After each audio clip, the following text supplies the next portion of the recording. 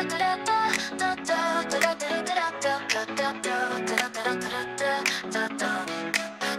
optic nerves are purely sensory. They got a big job, but that info density. Damage to the nerve can result in blindness. It's super fragile, so treat it with kindness. The nerve leaves the eye at the optic disc, which can swell, and that's pretty bad as is. Cones and rods activate the bipolar cells. These are the first sensory neurons, as far as I can tell. Then you synapse onto ganglion cells.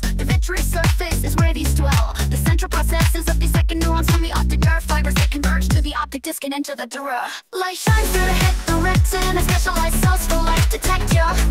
Lots of little strings called fibers pick up the data. Tiny little climbers, they all converge to create the optic nerve. and float into the optic canal of orbit. They converge. The optic chiasma absorbs it. In the chiasma, they sort across. This is confusing, don't get lost. Then they keep going as the optic tracts. This is the thing that thalamus attracts. They pass around the midbrain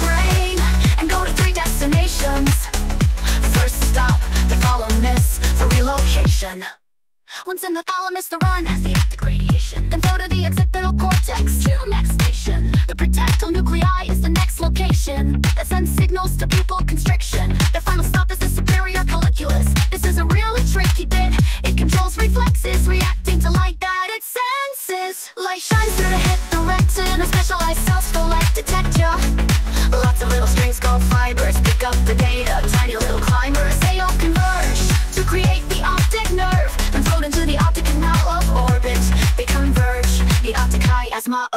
it. In the chiasma, they sort across.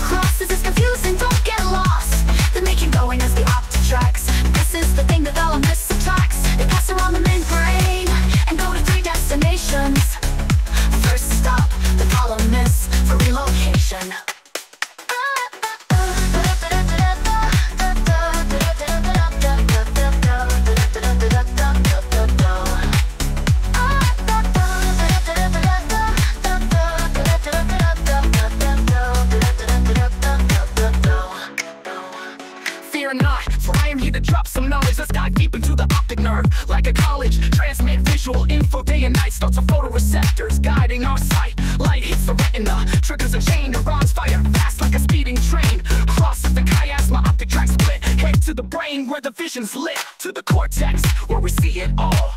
Reflex arcs reacting to the call. Superior colliculus, light detection, neural pathways. Local curves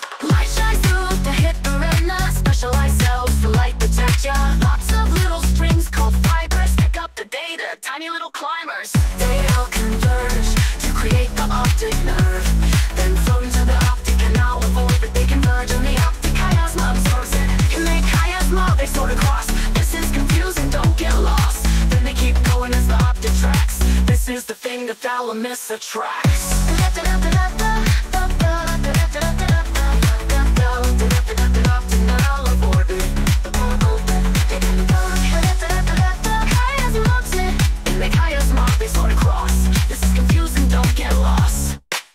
And they keep going as the optic tracts.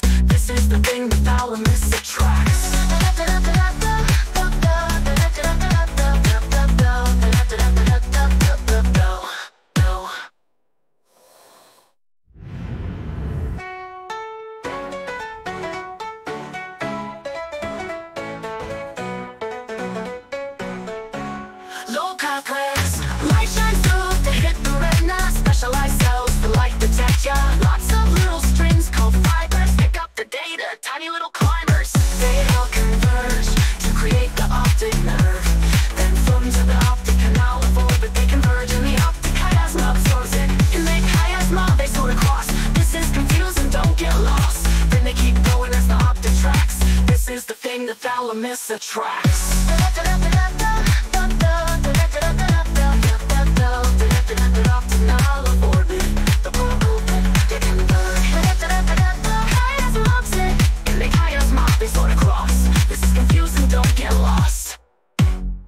Keep going as the optic tracts. This is the thing the thalamus attracts.